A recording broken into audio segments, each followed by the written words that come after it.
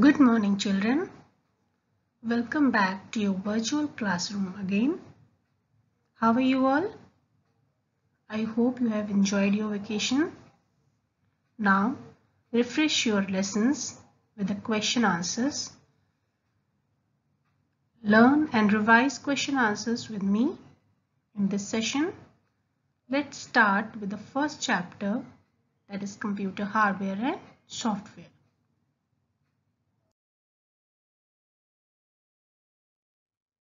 What is hardware? The physical parts of computer that we can see and touch are called hardware.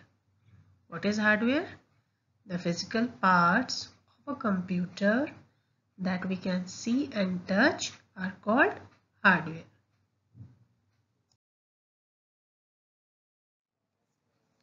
What is software?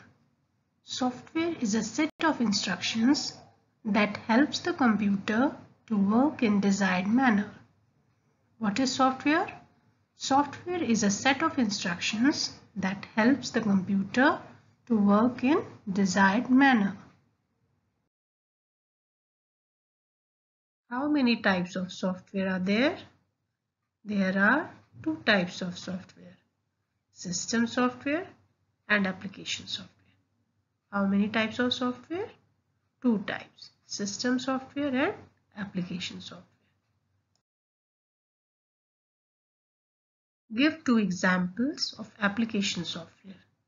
The two examples of application software are Paint and MS Word. You can take the example of other application softwares also. Give one example of system software. And the answer is operating system. How many keys are there in a standard keyboard? How many keys are there in a standard keyboard? 104 keys are there in a standard keyboard. So how many keys? 104 keys. How many types of printers are there? There are three types of printers. Dot matrix printer, inkjet printer and laser printer. Repeat with me. Dot matrix printer, inkjet printer, laser printer. Give some examples of hardware.